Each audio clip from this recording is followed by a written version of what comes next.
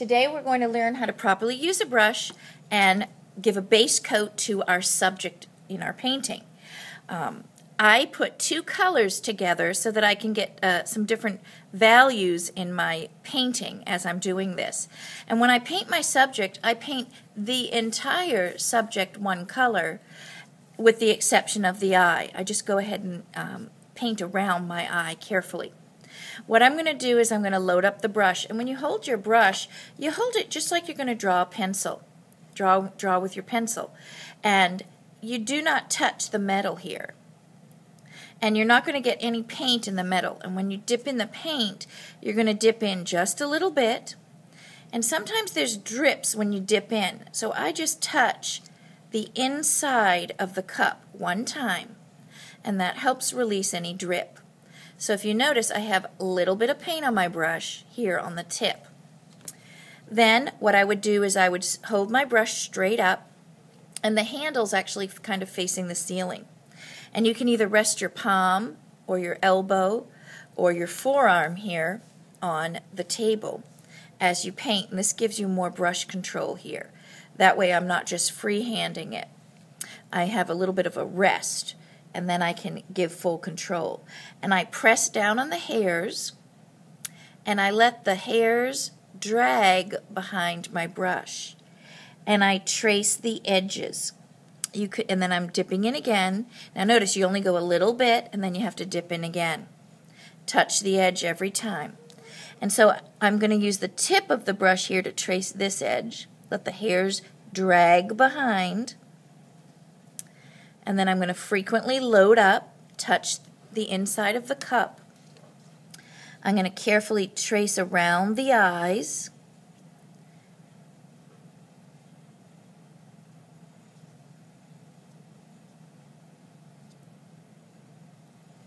And then I'm going to smooth out back and forth any areas.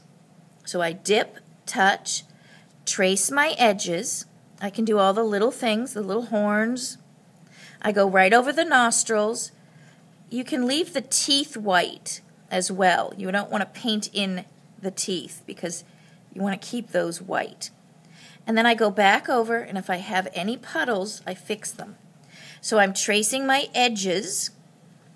Okay? All the edges are traced, and then smooth on the inside. Once you've traced it, go back and smooth out any strokes. You want to have the base background as smooth as you can. You do not want to have any brush strokes showing at this point. Just give it a smooth base coat. If you want scales with brush strokes later, you can put those in. Now, any little tiny appendages, the things that stick out that you've done, you can paint those in as well. And sometimes, once you've done the whole body, let's get the whole body done first. Once you've done the whole body, I'm going to change the sh shape of the eye a little bit too. I'm just going to paint a little bit over it. Once you've done the whole body smooth, back and forth, and I'm going all in one direction, down, just to get it nice and smooth. Once I've painted it, smooth it all out.